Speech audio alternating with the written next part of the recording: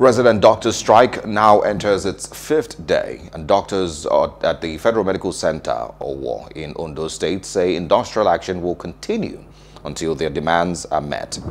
The doctors obeyed the ongoing strike as directed by the leadership of the National Association of Resident Doctors.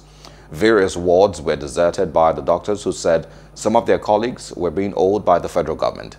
However, other health workers were seen discharging their duties.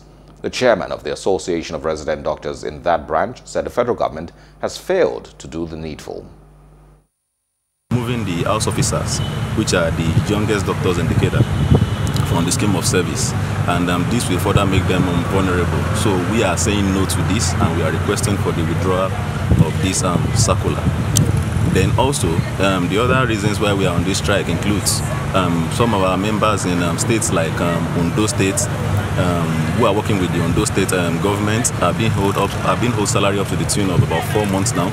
In Imo State, about 18 months. As we know that this is day five of the National Association of Resident Doctors uh, strike, and uh, we are 100% compliance as far as the resident doctors in Federal Medical Center was concerned.